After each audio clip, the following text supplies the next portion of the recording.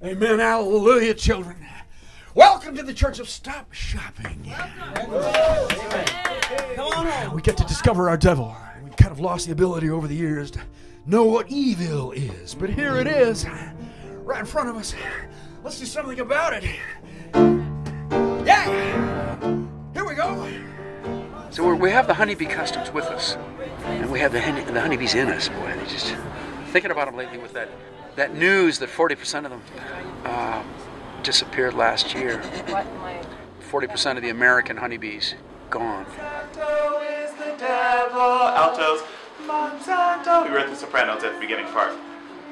So let's try it out together. One, two, three, four. Because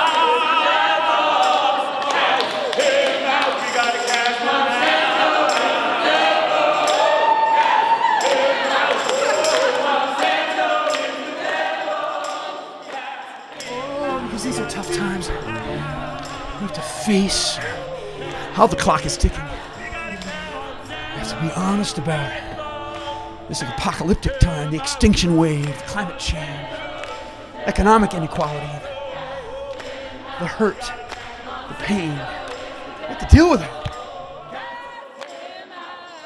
Monsanto is a company that is hard to find.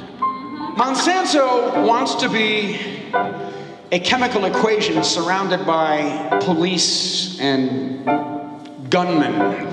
Place, the concept of place, as we know, that's old. That's before neoliberalism. That's where you had a park that was owned by all of us, and we called it the Commons.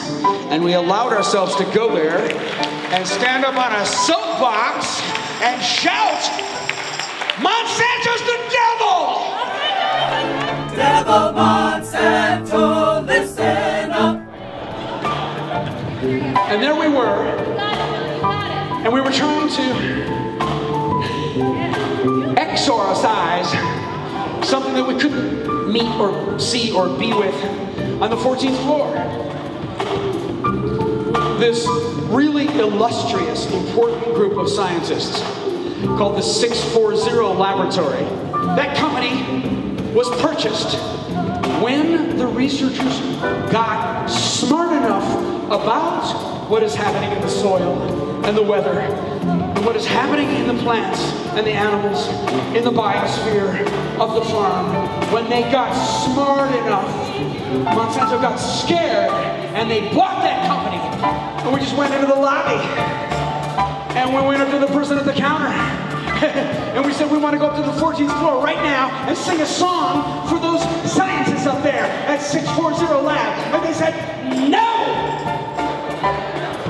You can't do it! and we said, all right, we're going to sing right here. Will you take the message for us? And what do we sing? What do we sing?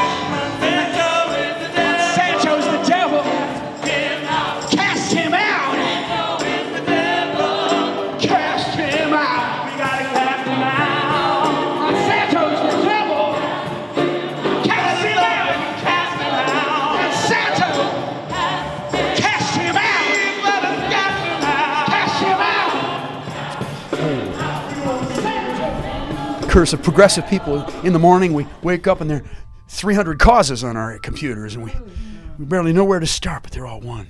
That's right. And if we discover how they are all one, then we are going to have that, that mm-hmm. essential, that essential courage that's beyond courage. It's beyond the word courage. You don't use the word courage anymore.